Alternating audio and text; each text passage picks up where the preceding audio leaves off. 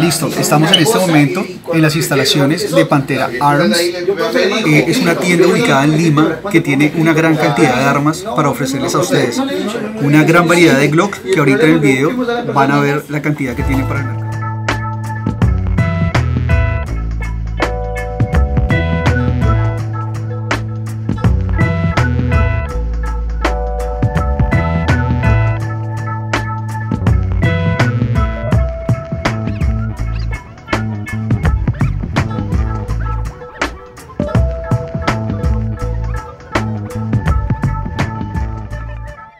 estamos encontrando en el distrito Chorrillos, Avenida Defensor del Morro, número 666, local 44, 45 y 46. Ah, bueno, acá incluso está el, el, mapita.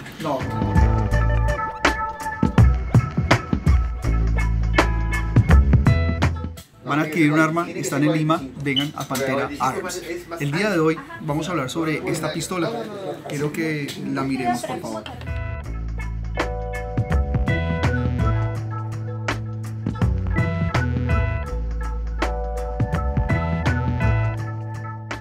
Esta es una Walter de la referencia SP22M1. Hay SP22M1, M2, M3, M4 y M5. ¿Cuáles son las diferencias entre estas versiones? Básicamente es que unas tienen Real Picantini, otras tienen unas, un sistema de compensación, cambian las miras, cambia un poco lo que es el sistema de la empuñadura, pero en general vamos a hablar de esta arma. Esta arma de la eh, referencia Walter tiene unas especificaciones muy interesantes. Es de calibre calibre 22 largo. Esta será entonces la M1. A simple vista podemos observar que tiene 6 pulgadas de su cañón, es utilizada para nivel deportivo. ¿Por qué sabemos y de entrada sin, sin, buscar mucho que es deportiva?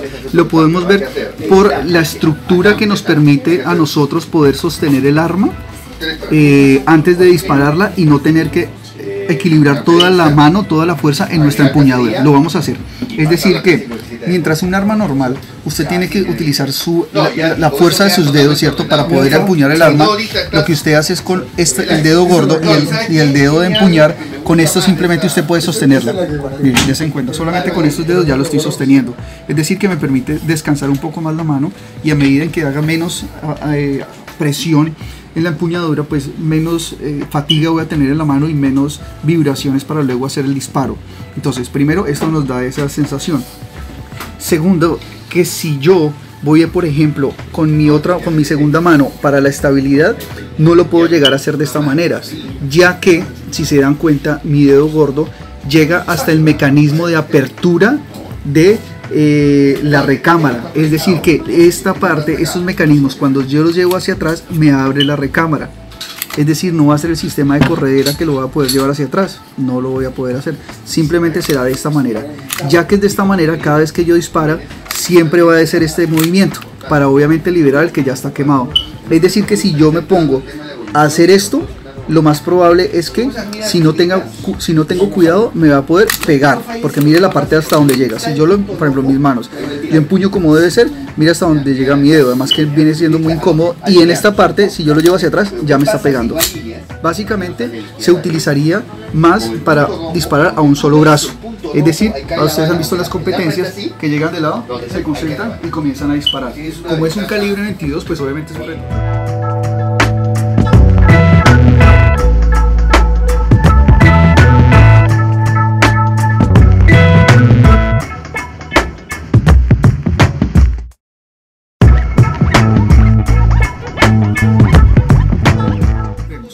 Para poder meter nosotros eh, el cartucho en la recámara, simplemente será con el proveedor, alimentaremos y lo llevaremos hacia atrás. Tenemos un sistema de poste de mira eh, rígido, ¿cierto? En forma triangular, muy bonito, muy simpático. Unas salsas de miras ajustables eh, mecánicamente. Y adicional a eso vemos un martillo eh, con martillo escondido. Aquí podemos ver rojo que será fuego. ¿Cómo es el seguro? ¿Qué mecanismos ofrece esta arma? Tiene un, un, seguro disparador. Si se dan cuenta, normalmente lo viene en la parte trasera del arma. Aquí está acá. Es un mecanismo que sale hacia los costados.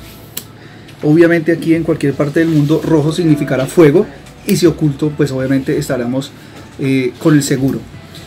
como es una pistola de competencia, se tiene que graduar lo más posible para que la persona se sienta cómoda con su disparo. Es decir, que podemos encontrar en la parte eh, atrás del disparador un tornillo que se puede ajustar eh, a mano izquierda para, para que salga un poquito y así de esa manera regularemos qué tan sensible queremos que sea el disparador. Queremos que sea bien hacia atrás, entonces menos espacio, menos sobresalida para nosotros poder oprimir el disparador y que sea mucho más sensible.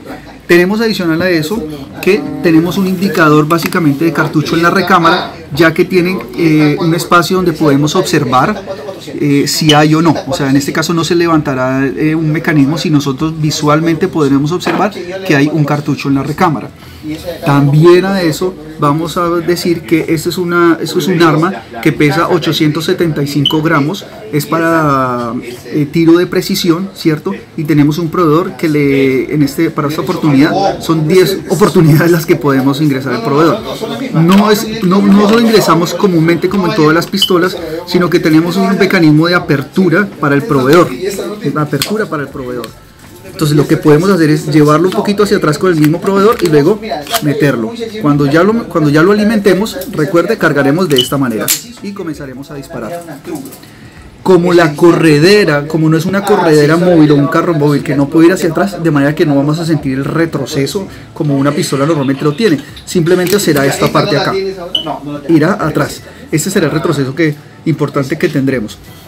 Como tenemos el proveedor puesto e intenté cargar, obviamente que el mecanismo ha quedado completamente arriba.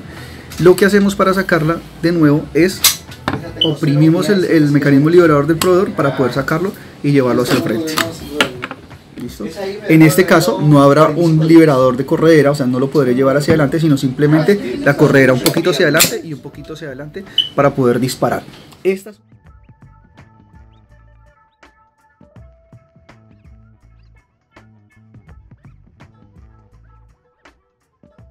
de competencia, de tiro de precisión. Acá en Pantera tenemos muchísimas armas Glock, hay demasiadas armas Glock, Beretta, Taurus, Revólver.